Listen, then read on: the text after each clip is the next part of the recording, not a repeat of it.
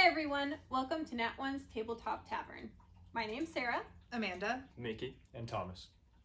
Here, you will get to watch us play all sorts of different board games, card games, and pretty much anything that you can play on top of a table. You will get to watch us play the tabletop games for the first time, which means as we learn, you will too. Adventure with us through the ups and downs, the ensuing fights, and me winning almost every game against these three. Asterisk. So tune in every Thursday at 8 a.m. Pacific Time for new episodes of Tabletop Tavern. Ex Libris. You are a collector of rare and valuable books in a thriving fantasy town. The mayor has just announced a new seat in the village council, that of Grand Librarian. The prestigious and lucrative position will be awarded to the citizen with the most extraordinary library. Unfortunately, several of your book collector colleagues, more like acquaintances really, are also candidates.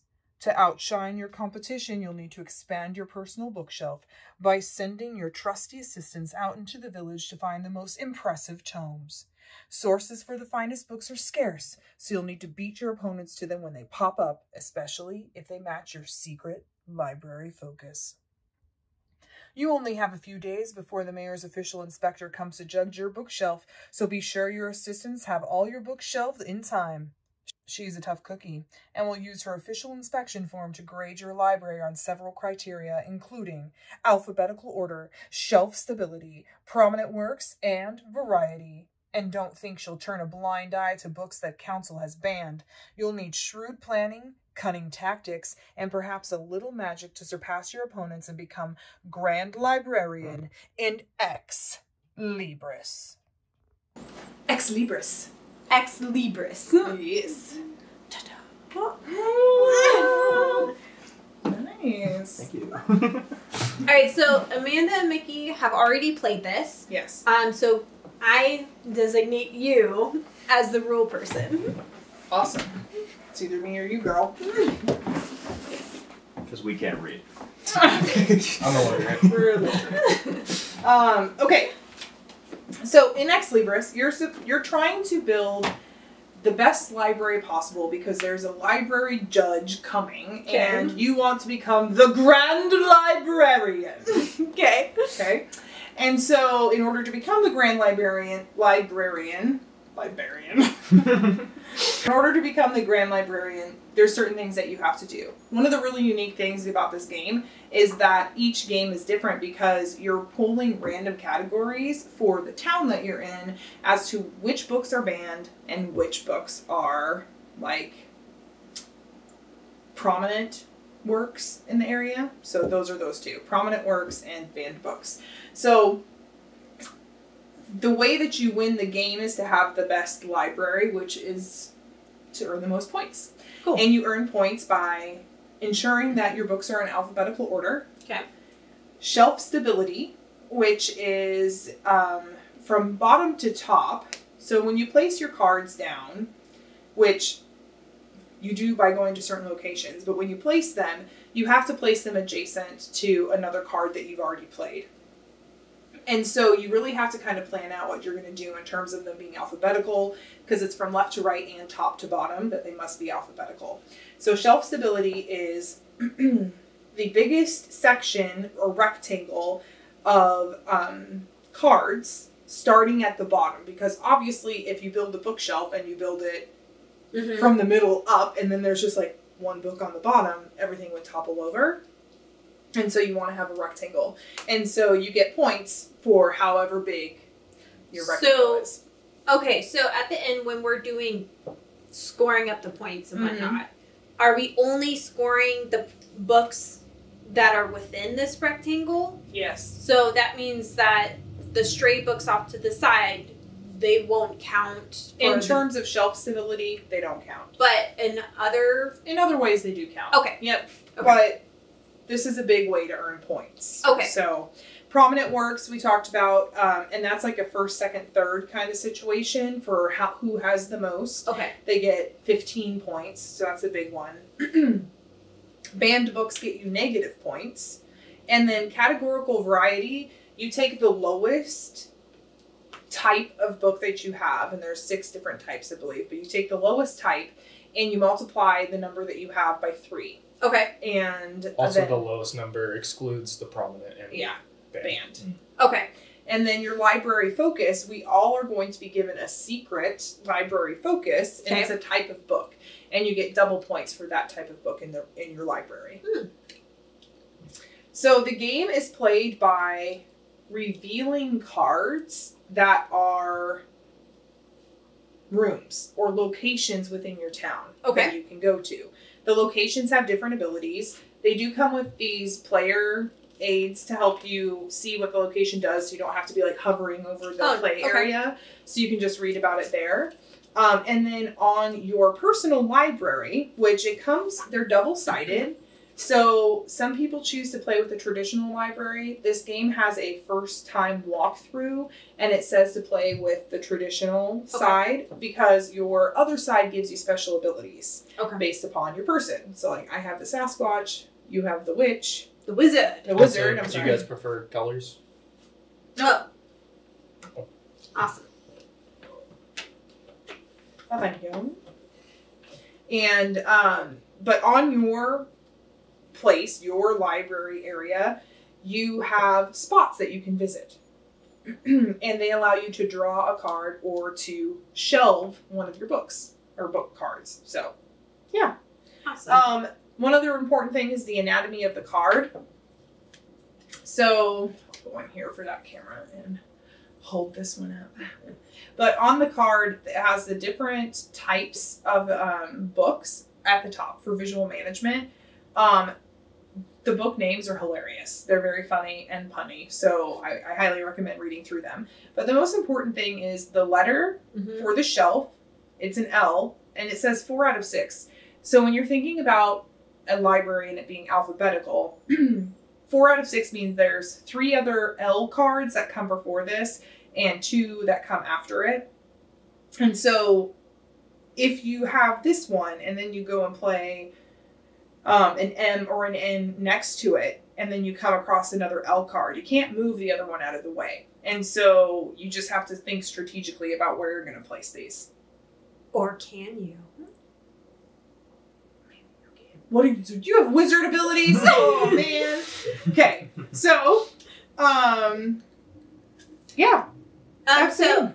okay, so uh, there's uh, a lot of like different kinds of cards here Mm-hmm. on the table. So these ones stay in front of us. These ones we keep as well. Mm-hmm. These are what we're dealing out. Yep. Do we need to shuffle? Um, Probably. Yep. Shuffle them up, and then right now, what we'll do is we will pull the banned, uh, the banned book, and the prominent works book. So Thomas, pull us a banned book. What's banned? Monster manuals. Ooh, the monster manuals are the banned. So we'll put that there. And what is a prominent work of this area? Corrupt codices. Ooh, corrupt Oh. codices. Nice. I like it. So, it's good to know. All right, now, everybody, I'm just going to mix these all up, will randomly get a prominent focus. Okay. Or, I'm sorry, a uh, library focus. You just want to look at it, and then you want to slide it under your um, mat upside down, because it is a secret. Okay. Um, but it just suggests that you keep it there in case you ever need to reference it. And if you notice on your mat, you have a little area that says focus times two, and that's where you place your card. Yes. Oh, I see. Okay. Yeah. Okay, first player is the person that last bought a book, I believe. So, does an audiobook count? How about one of those? Sure. In time, in times of COVID, I'd say yes. Right. Okay. I uh, want, want an Audible credit. I didn't actually purchase the book. oh. It was See? a credit. Even more. Because I know it's gonna be you because we did this before. All right, fine. It's Sarah. She's first player. Oh my god. That's the first player token. We're supposed to have cards dealt, right? Um. Yes. Okay. So do do do do. I just need to check because we have four players. We did the category. Shuffle them. Six. Six to each player.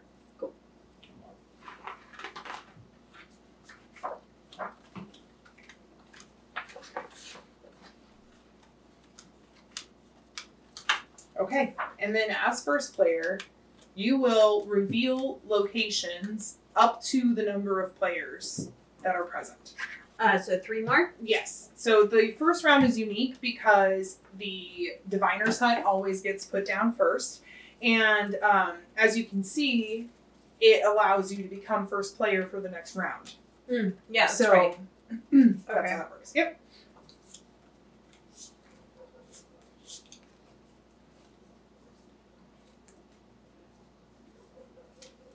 I already forgot what I specialize in. Oh, library games. Line 11. Is it Sorry. the book titles? No, not the titles, just the way my cards were organized. Mm. The first three spelled something out. Oh, Um, Sorry. you can go ahead, do it. boobs. Yeah. Okay, local draft house. Uh huh.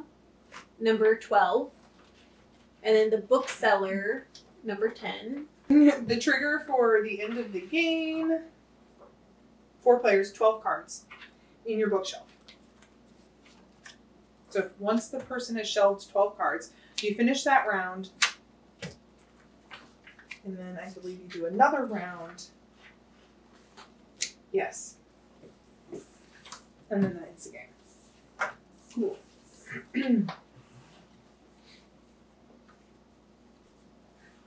All right, so I go 1st Mhm. and the first thing I do is go to a location. Right. So what we just did was called the preparation phase. We prepared the area. Okay. Okay. And then now is the placement phase. That tells you exactly what to do. Is there a hand limit? Um, no, I don't believe that there is a hand limit. Okay. so then, for the diviner's hut, if Mhm. I were to. Well, no, never mind. Okay, I can go to my own place, right? Mhm. Yeah. All right, that's what I'm doing. Go into my own place, my Okay. own laboratory. And I draw- Laboratory. All right. That's my turn, right? Correct. Drawing one color. And then taking the first token.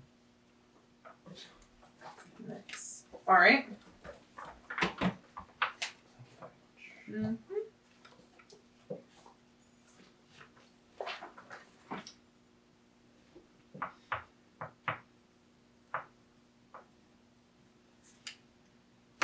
Oops.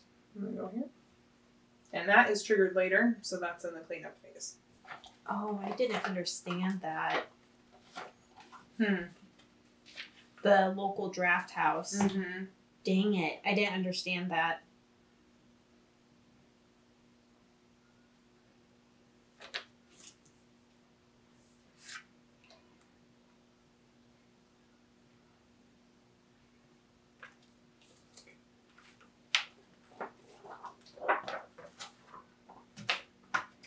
Get to do it right away. Yeah, It's right. triggered later. Yeah.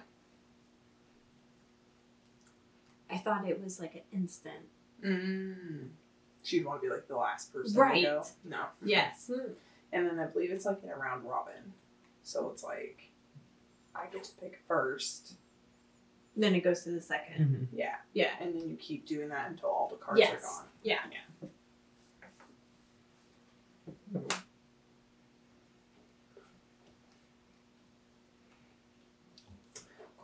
So just so you guys know, my special ability is as the Sasquatch, I can't go somewhere that somebody already is, but if I go there first and somebody comes there, I can choose to remove my guy and then I have him to go again.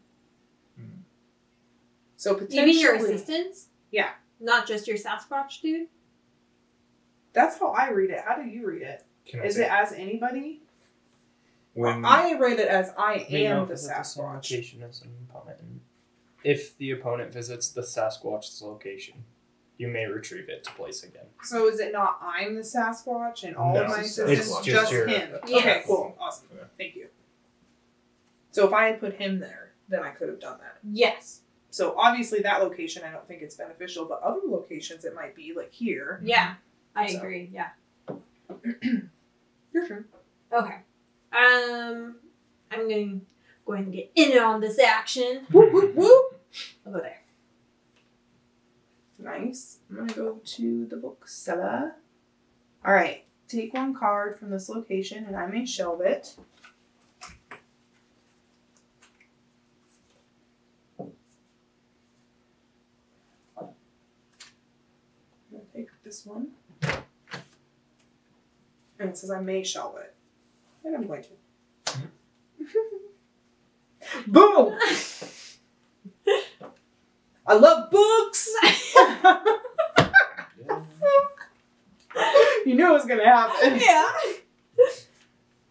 I like gold.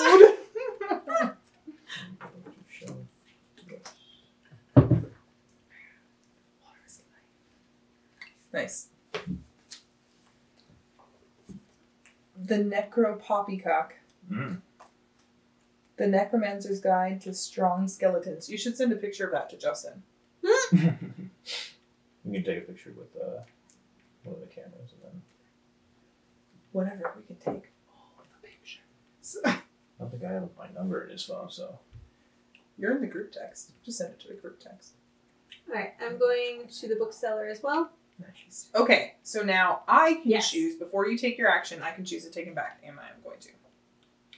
But I can continue. Yes, now you can continue, but it specifies Oh, that you I have to do it before Yeah. you take your action. Okay. So Because it, I can understand why. Mhm. Okay. You're drawing a card. all right, cool.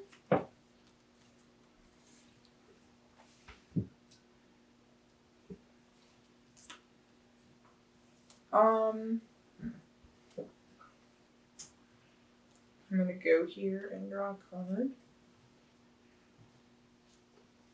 Okay.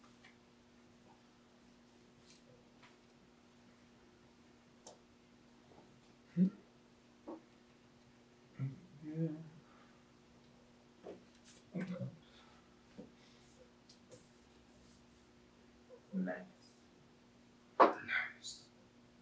You don't have any? Mm-mm. Mickey doesn't. I do. That's right. Um, I'm gonna go here. And I'm gonna this. Okay. So now it is the um cleanup phase? Not cleanup, they call it something else. Hold on. It's the resolution phase. There we go. the. Yes. Okay. So the resolution phase. So during this time, we need to delayed effect cards Mhm. impact those. Nobody was at the garbage dump, so um, in the location as a delayed effect, activate it by following the text. So what does it say, Mickey? So, the player on space one below reveals two cards from the deck for every assistant at this location. Uh, in the order below, each player takes one card until none remain. Wait a second. I think we've read this wrong. Hmm. The player on space one below reveals two cards from the space or from the deck for every assistant at the. Oh, never mind. Yeah, there's eight Yeah. cards. I was Yep. thinking their assistants. No, no, no. Um, everybody draws one until none remain. Uh, any cards may be shelved. Okay. So one, two, because I'm player one. That's why I started. Yep. Three, a four, five, seven, and eight. All right. So I get to pick first.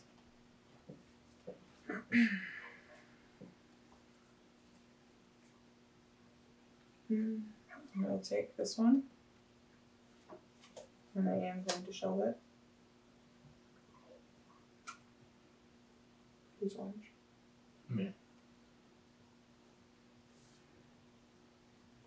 Take this one. Put it into the deck. Mm-hmm. It's funny we went in order. yeah.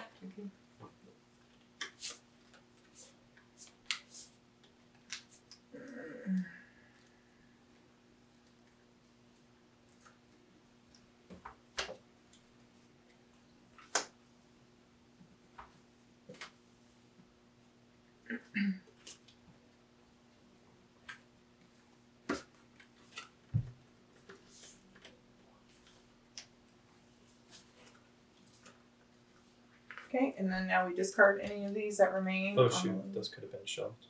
Oh well, Yeah, they can be shelved if you want to. I remember this one. It's a little out of place. Okay.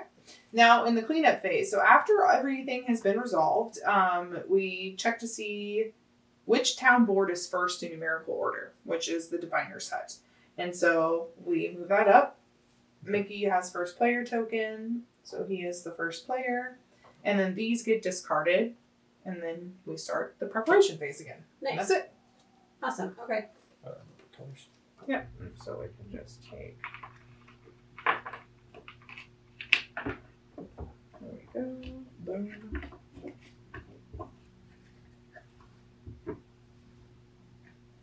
And then these become permanent fixtures in your town, is kind of like the idea. Nice. Cool. Okay. Okay.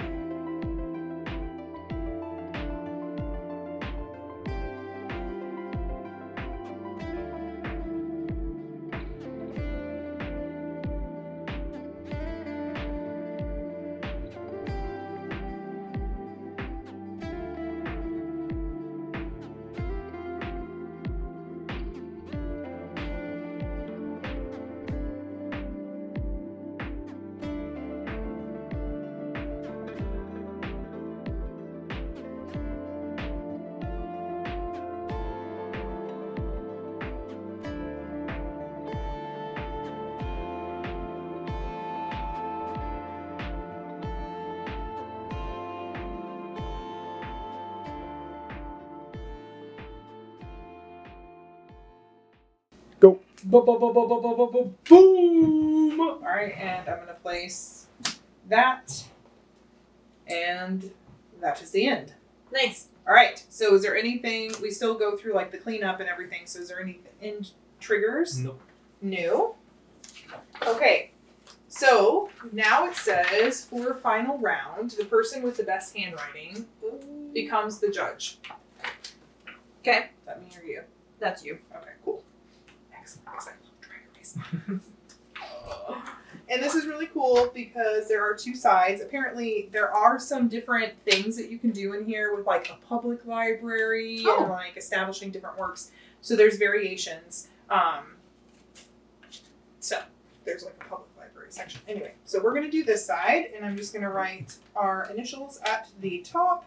Now, before the officiant comes, you have a chance to flip over any of your books, not to entomb them, but if they're like out of the alphabetical order. Okay. In order to get more points, you can flip things over. Mhm. So you can choose to This. right. You can choose to do that now. 'Kay. Um. So we'll go Sarah, Nikki, Amanda, Thomas, Smat.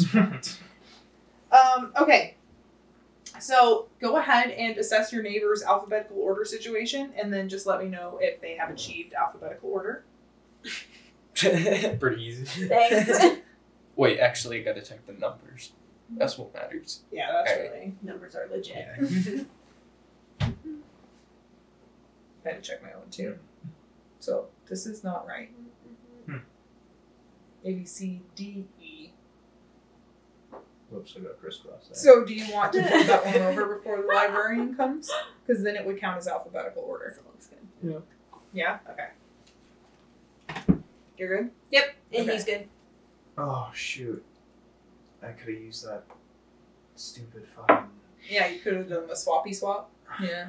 okay. So everybody's alphabetical order now. All right. So we are going to. The prominent works is the corrupted codices, and Mhm. so you circle that, and then you cross out the banned book, which is Monster Manual, just for reference. Okay. It tells you to do that. Okay. So now we're going to categorically tally, and you count each of the bubbles for each category. Okay. So we'll talk. We'll start with corrupted codices. Um, so just count how many uh, skulls you have. We've got five.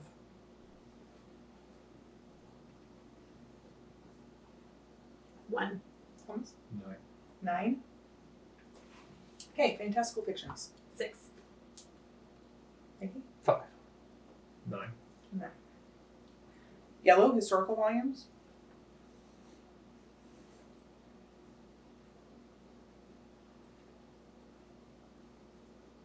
Five.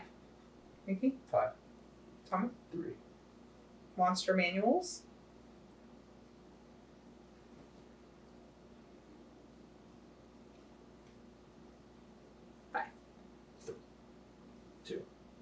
Reference text blue.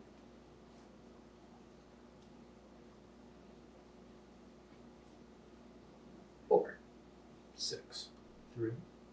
Spells and potions.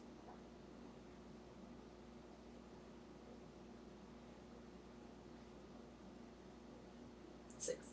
Ten. One. Okay, so that's section A. So we just go through and tally everything. So now we're going to go through and survey the shelf stability and all of these different things. So, shelf stability, you're going to start with your bottom shelf, Mhm. and the minimum is basically four because it's going to be how many cards wide and how many tall, Mm-hmm. starting at the bottom shelf. How are- I have four on my bottom shelf, Well, so your yeah, four would be and then I, but only Yeah. this little section. yeah, okay. Is so you get four. I've got nine. Mickey's got nine. I also have nine. You have nine? Yep. Awesome. Well, Do the flip points. that count? doesn't count. They don't. Not that. I don't know about your entombed one. That one doesn't because you were not in alphabetical order. So it would be four. or would it be six if his attuned? Oh, I'm sorry. It would be six if it counts. You're entombed. Six. Six? Okay. All right. Now, prominent words works awards. So we go to the corrupted codices. Uh, Thomas had nine at the most, so he gets 15 points nice. for that. Um, I had second most with six, so that's nine points. And then who had? Mickey. I got four. Okay, Mickey had four, five. Four points. Four points. Oh, I'm sorry. Okay, Sarah gets zero points. Assigned ban or assigned banned book penalties. So for that one, you get minus five, Sarah. Minus three for Mickey. Minus eight for me, and minus two for Thomas. Okay, categorical variety bonuses. So your lowest one, except for these two, right? So not those. Um, so what's that, Sarah? That's your reference text. Okay. So you get twelve points because it's times three. Okay. Um, Mickey I had five is my lowest. five. Okay, so fifteen. My lowest was three, so nine. And then Thomas, your lowest was one, so three. And then you reveal your focus. Sarah. Uh, spells and potions. Okay, so you get twelve points because you had six of those. Mickey. Uh, reference text. which is blue, so you get 12 points. Mine was historical volumes. I had 13, so I get 26 points. Thomas, Fantastical fictions. that screen, so you get 18 points. Nice. Now we do math. Okay, and so we just add up the scores in section B. So, um, what is that? 11 plus 12, 23. 23. Sarah? Okay. And then Mickey, 10, 25, 37. 18, 10, 36, 45. Yep. And then Thomas. 40. Is that right? 16, 19. 34, 40. Yeah. Thank you for coming counting up. Okay. I was adding in my head. So these are the final scores. I win! I win! But actually, if you notice, not by as much as you guys may have been thinking. Thomas almost. Thomas won. Yeah, almost won, Thomas and was close. He was very close. Even had it flipped, I feel like he would have. He Yeah. would have had uh, only two points behind. But you would have got the books on that one too. Yeah, if he would have would gotten been in, nine Yes. if points. those had been in order, you could have won. Yeah, he would. Well, this was an entombed one, so he didn't. Don't you get extra for entombed? Two more points. Did you already count that? No. Oh, well, so forty-two. So that's even closer. Yeah. And so yeah, he wouldn't have gotten nine if that one had been in order. Then that would have probably put him over. Yeah. He would have won't beat me. Damn. Damn. uh, Just because I didn't look at that top right corner. Just let you know, bro. He comes after me. So today we played Ex Libris. Ex Libris. Ex Libris. Ex Libris. Ex Libris is a game for lover of books. It does have a lot of rules that go into play. I'd say this is an above 18 uh, game. I don't think that a lot of kids would have fun playing this game. The game is pretty fun. First thing I'll mention is that it's not as complicated as it looks in the beginning. It's so much fun. You basically get to choose at random which librarian you're going to be, and it gives you a special ability. You're trying to build a library quickly um, over the course of several rounds by going to different location cards that are flipped up at the beginning of each round. Each game, you'll have a difference of which card is the prominent book and which other books are banned in the area. Um, collecting the prominent books is definitely a good way to score points because scoring 15 points with the most prominent books will definitely put you close to the top. You are trying to make the most organized and beautiful library. And the books have really funny titles and they have like punny names and whatnot. So uh, that was awesome. In order to help each of the players know which places did what, there was some sort of player aid. Um, that was made out of shiny paper. That was kind of like a cutout. the little pe- cheat sheets for each location so that way you don't have to like hover over the actual like location tile but it's like perforated paper and then they made it double sided uh, front and back. And so potentially you could have two locations out that share the same cheat sheet so you have to keep flipping it. I don't know. I feel like it's a really good idea and something that they should keep in as part of the game as that small cheat sheet but i don't know. Make it a little bit different. I didn't do so well. Um i love books and i love libraries but i did not do well in this one i think i would give this game a 7 out of 10 which sounds weird because I really want to give it a higher score, but like I love books and I love libraries and I love board games. But I still would only give this one a 7 out of 10. So as always, I talk about my thoughts on like taking this game out and about, either to your friend's house, family house, or I even consider camping and this game is a little complex uh, for people who just play board games every so often. For people who play board games frequently, I think this would be totally fine and lots of fun. Overall, I like the game. I'd give it a 7 out of 10. I really wouldn't want to play this game like with my friends or anything, but it it's a fun family game and I wouldn't say no to it. I should have won. I should have won. I kind of screwed myself over at the end.